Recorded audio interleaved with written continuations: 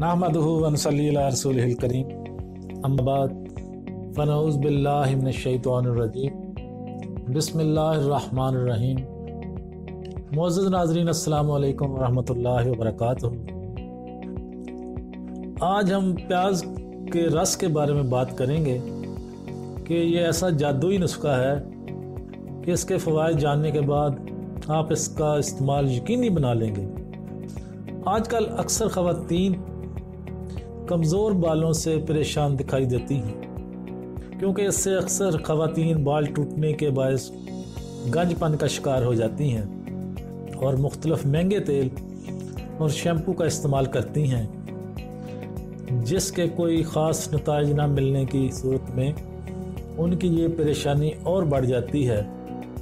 لیکن کیا آپ کو معلوم ہے کہ آپ کے کچن میں روز مرہ استعمال ہونے والا پیاز آپ کی اس مشکل کو چند ہی دنوں میں ختم کرنے میں مددگار ثابت ہو سکتا ہے، کیونکہ پیاز کے رس میں اینٹی بیکٹیریل کی خصوصیت موجود ہوتی ہے، جو کہ ایسے بیکٹیریا جو آپ کے بالوں کو خراب کرتے ہیں، ان کو ختم کرنے کی صلاحیت رکھتا ہے۔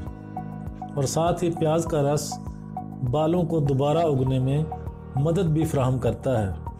اس نسخے کے لیے بتایا گیا طریقہ استعمال کرنا ہے جو کہ حسب ذیل ہے۔ بال کی لمبائی کے حساب سے پیاز لے لیں اور اس کا رس نکال لیں۔ اب اس میں حسب ضرورت ناریل کا تیل استعمال کریں، شامل کر دیں اور پھر ہاتھوں کی مدد سے بالوں پر لگائیں۔ پیاز کا رس لگانے کے دو سے تین گھنٹے بعد اس کو سادہ پانی سے دھو لیں۔ اور شیمپو کا استعمال بالکل نہ کریں۔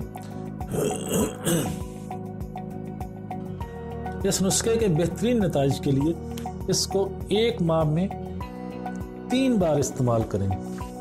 تو معزز ناظرین کرام، آج ہم نے پیاز کے پانی کے بارے میں بات کی کہ یہ خوات اسپیشلی خواتین میں مرد بھی استعمال کر سکتے ہیں۔ لیکن اسپیشلی خواتین میں جو بال گرتے ہیں، وہ گنجے پن کا شکار ہو جاتی ہیں۔ تو ان کو یہ نسخہ استعمال کرنا چاہیے۔ امید ہے آپ کو ہماری یہ ویڈیو پسند آئے گی۔ پسند آئے تو لائک اور شیئر لازمی کریں۔ ہمارے چینل کو سبسکرائب کر دیں۔ بیل آئیکن پر کلک لازمی کریں تاکہ ہماری آنے والی ہر ویڈیو کا نوٹیفیکیشن آپ تک آسانی کے ساتھ پہنچ سکے۔ واخر دعوانا الحمد لله رب العالمين.